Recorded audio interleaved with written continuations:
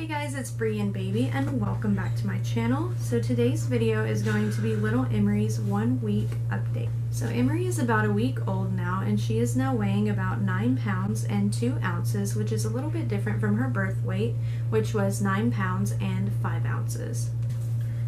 So starting with the beginning of this update, um, as you can tell we are still in the hospital. We've been in the hospital for almost a week now, exactly. We are filming this a couple days before she turns a week old, but basically it's all the same.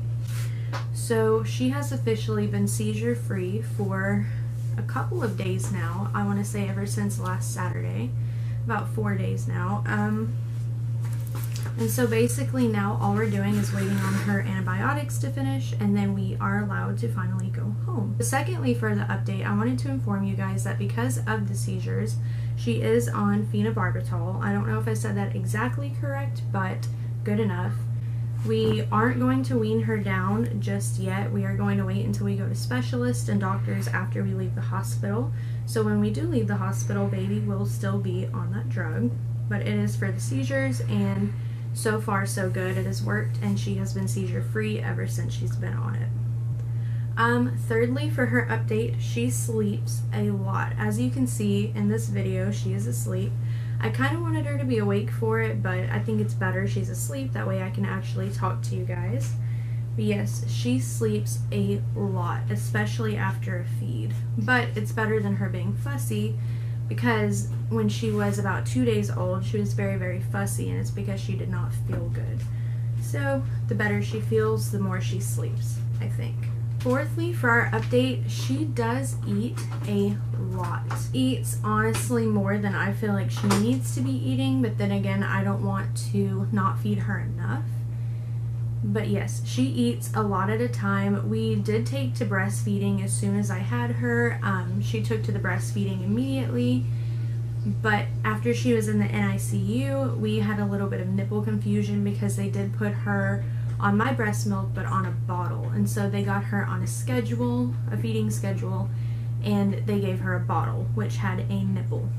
So every time now that she gets super, super hungry, instead of wanting to breastfeed, honestly, she takes the easy way out and she just wants me to give her a bottle, which is a little bit frustrating for her and a little bit frustrating for me as well, but I do plan to continue trying to breastfeed and trying to overcome her stubbornness on this.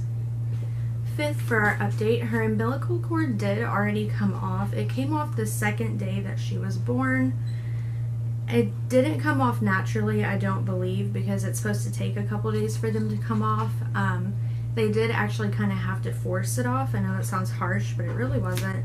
But they did take it off. That way they could put an IV through her belly button so it wasn't as harsh as resticking her veins. Speaking of her veins, um, she did have an IV in her foot and I was going to show you guys, but as soon as she got back from the NICU this time, they informed us that it went bad and so now they're going to have to find another place to stick her. They're trying to stick her head as of next time, so I'll let you guys know how that goes. Honestly, it makes me really nervous. I like the fact that they had the IV in her foot because I didn't really have to worry about it just too much. But we will find out where they stick her next, and like I said, I will let you guys know how that goes. Seventh for my update is Stinky Girl here still has not taken her first bath. Now, technically, they have washed her hair um, just because they did a whole bunch of brain testing and they had to put like sonogram gel on her hair.